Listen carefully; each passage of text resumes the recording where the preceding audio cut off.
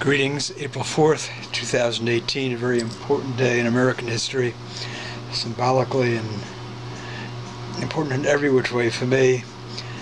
Uh, I was a senior in high school when Reverend Dr. Martin Luther King was assassinated, same as Bobby Kennedy, who surely would have was on his way to win the Democratic primary and probably have won against Nixon and the war in Vietnam might have ended far sooner. Martin Luther King. Anyway, my uh, work of the last, since late 1991, about 26 or so plus years now continues on with the Under the Wing series and with the Sightseeing with Dignity Human Rights Art series. I've just finished the tile making on the 10th mosaic drawing of the Under the Wing series. I think it will look very cool. Um, of course, how the audience perceive it is totally different than how I might perceive it. This is pre-grouting.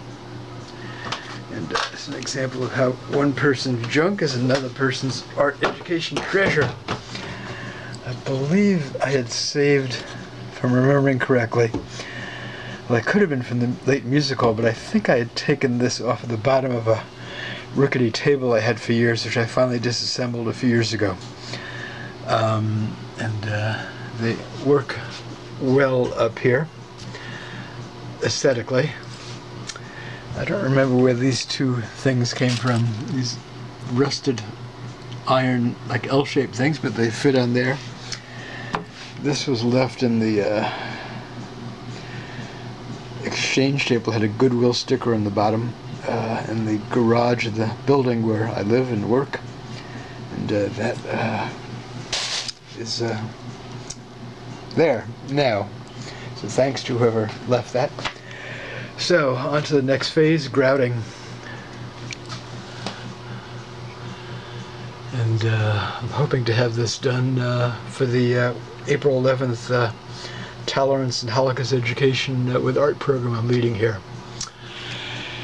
Whew, yes, a lot of work.